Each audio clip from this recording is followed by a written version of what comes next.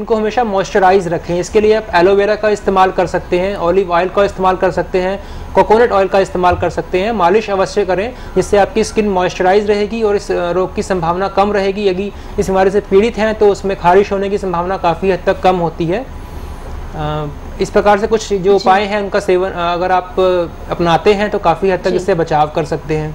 जी बिल्कुल डॉक्टर नरेंद्र हमारे साथ वापस जुड़ चुके हैं। जानते हैं कि क्या जानना चाहते हैं। नरेंद्र जी क्या आप हमें सुन पा रहे हाँ? जी डॉक्टर साहब आपको सुन रहे हैं? अपना सवाल करें। हाँ जी। जी। मेरी स्किन है ना बहुत ऑयली ऑयली रहती है। हम्म, हम्म। बहुत ऑयली रहता है जिसके कारण मेरे ना पिंपल्स बहुत निकल आए हैं। जी। तो मैं क्या पिंपल्स को कैसे दूर कर सकता हूँ? जी आपकी उम्र कितनी है? मेरी उम्र है 25 तक जी इसके अलावा आपके पेट संबंधी कोई समस्याओं से पीड़ित है? ऐसे कब्ज रहती हो एसिडिटी रहती हो? हाँ पेट रहती है। जी देखिए सबसे ज़रूरी है कि जो एक तो हुआ कि टेम्परेरी कारण है कि आपकी स्किन ऑयली हो गई है आजकल बारिश भी हो रही है मॉइस्चर इतना ह्यूमिडिटी है इन्वायरमेंट में। जी। उसके लिए सबसे पहला ज़रूरी है कि आप अपने पेट का अधिक ध्यान रखें। अगर पूरी तरह शौच साफ़ नहीं होता उसके निर्मोलेक्स पाउडर का सेवन कर सकते हैं। जी।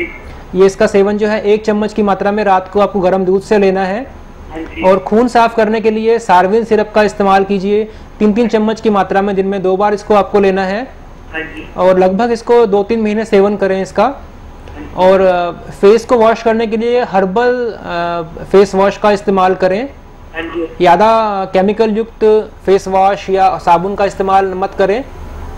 और ह्यूमिडिटी से काफ़ी बचने की कोशिश करें। इससे आपको इसमें सहायता मिलेगी इससे तकलीफ़ से छुटकारा पाने में। जी, बिल्कुल डॉक्टर साहब, आगे अपने कार्यक्रम को आज हम नहीं बढ़ा पाएँगे क्योंकि समय हमें यही रुकने की इजाज़त दे रहा है। दर्शकों से हम कहना चाहेंगे कि यदि आप भी किसी भी बीमारी को लेकर परामर्श करना चाहते हैं, डॉक्टर साहब से पर्सनली मिलकर मुलाकात करना चाहते हैं या फिर किसी भी बीमारी को लेकर मुल्तानी आयुर्वेद चिकित्सालय से संपर्क करना चाहते हैं तो नंबर्स आप टेलीविज़न स्क्रीन पर देख रहे हैं। नंबर्स पर कॉल करके आप अपनी सभी समस्याओं का समाधान कर सकते हैं। डॉक्टर साहब, आप स्टूडियो में आए, अमूल्य समय आपने निकाला और दर्शकों की समस्याओं का समाधान किया। उसके लिए आपका बहुत बहुत धन्यवाद। नमस्कार